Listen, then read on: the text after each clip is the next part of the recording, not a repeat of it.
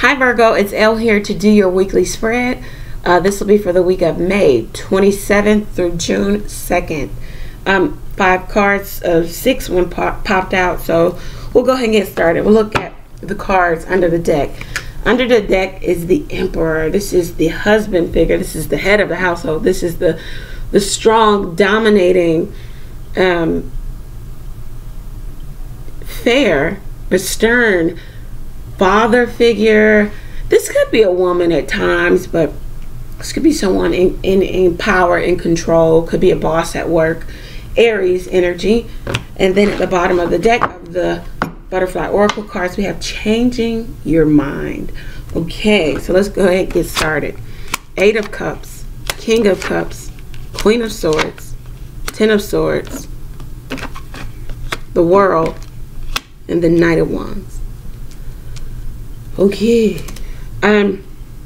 So, it definitely look definitely with the Ten of Swords and the World here coupled together, it looks like there's an ending. I mean, clearly, the Queen of Swords is pointed to the King of Swords, cutting something away, cutting something out. Cancer, Pisces, Scorpio, Gemini, Libra, Aquarius. Typically, this is Gemini. This is Scorpio. Pisces at times. It could be any water sign. Eight of Cups. Someone, and this could be Sun, Moon, or Rising um, for either. It looks like Virgo, you've you have or you will you have walked away from a situation that no longer serves you. Definitely emotionally checked out. You know how you feel about the situation with the King of Cups.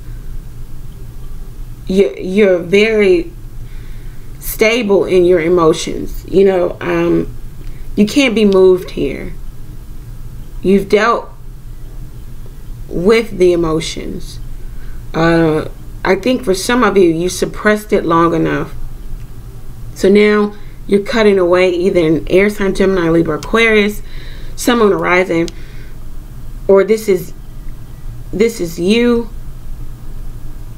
This is you emotionally. This is you mentally in action and you're okay with an ending. Even if this is vice versa it looks like an air sign might be cutting you out or cutting it off with you you're so stable within yourself. I don't want to say it really doesn't matter but what what i will say is that you're comfortable with it. You're okay with it the world is here you, have gone as far as you can go in this situation. It looks like you know that.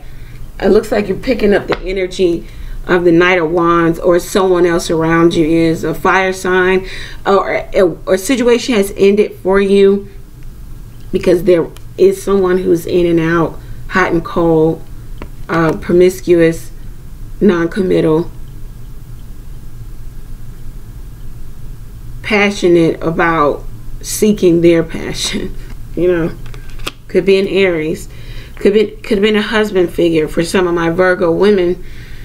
Uh, my Virgo men, it could be that you know this is your energy. You're taking control of this situation, and possibly removing yourself or re- or removing yourself by way of causing an ending of a situation support cards windfall. This could be a windfall of money of course.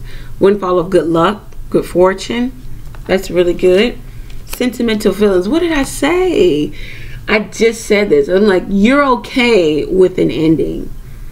You know you're not there's no three of swords there's no five of cups. You know there's no five of pentacles. It's just like i'm okay with it you know? Um I have reservations about it. Not even reservations. It's like sentimental feelings. Like, okay, well, it's ending.